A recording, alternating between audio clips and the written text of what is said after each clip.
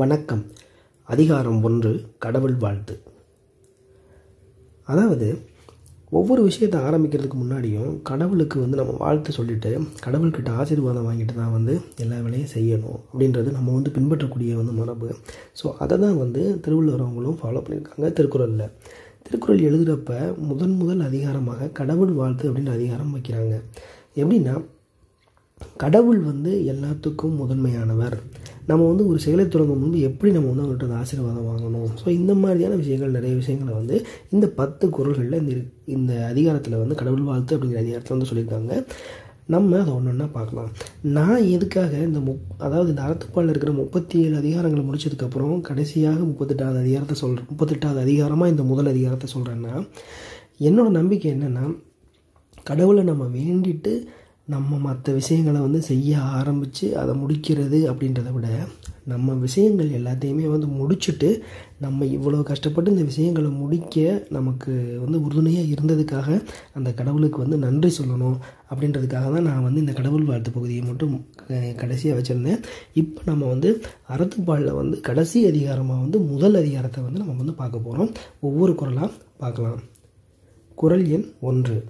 அகர முதல எழுத்தெல்லாம் ஆதி பகவன் முதற்றே உலகு. அகர முதல எழுத்தெல்லாம். அகரம் ஆ என்னும் எழுத்தே எழுத்துக்களுக்கெல்லாம் ஆதி அதாவது முதன்மை எழுத்தாக விளங்குகிறது. அதே போல ஆதி பகவன் முதற்றே உலகு. உலகு என்ன பூமி. பூமியில் வாழக்கூடிய மக்களது வாழ்க்கையானது எதன் மூலம் எதிலிருந்து ஆரம்பிக்கிறது என்றால் ஆதி பகவன். பகவன்னா இந்த இடத்துல சூரியன் தேவன் யாரால் வைக்கலாம் அதாவது கடவுள்னு வச்சுக்கோங்க. ஸோ கடவுளிலிருந்தே அது வந்து ஆரம்பிக்கிறது உலக மக்களது வாழ்க்கையானது அப்படின்னு ரொம்ப அழகாக திருவள்ளுவர் அவங்க முதல் குரல்லே சொல்லியிருக்காங்க. அதாவது கிறிஸ்பா நம்ம என்ன புரிஞ்சுக்கலாம்னா அகரம் ஆ எனும் எழுத்தே வந்து எழுத்துக்களுக்கு முதன்மையாக துவ எப்படி முத- முதன்மையாக துவங்குகிறதோ அதே போல் மனிதர்களது வாழ்க்கையானது கடவுளிலிருந்தே துவங்குகிறது. அப்படின்னு நம்ம இதுக்கு பொருள் எடுத்துக்கலாம்.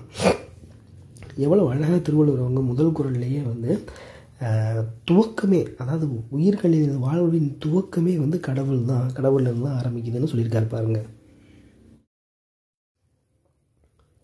குரல் விளக்கம். எழுத்துக்களின் தொடக்கம் அகரத்தில் அதாவது ஆ எனும் எழுத்தில் உள்ளது போல உலகம் அதாவது மக்களது வாழ்க்கை கடவுளில் தொடங்குகிறது. நன்றி. நாளைக்கு அடுத்த குரலில் சந்திக்கலாம்.